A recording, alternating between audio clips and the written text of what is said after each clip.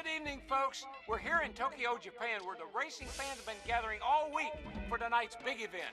The racers have lined up and are bracing themselves for another chaotic battle race. Things are about to get crazy, and they all know it.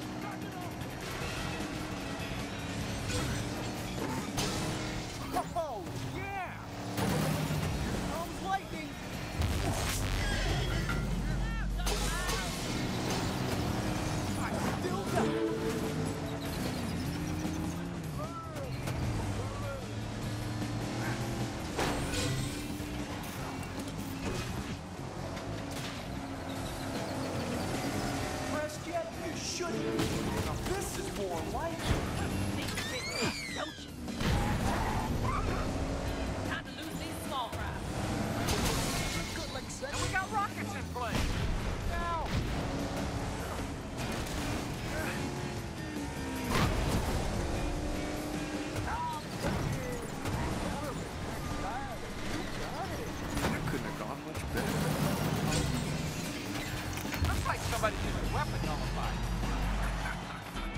do love it.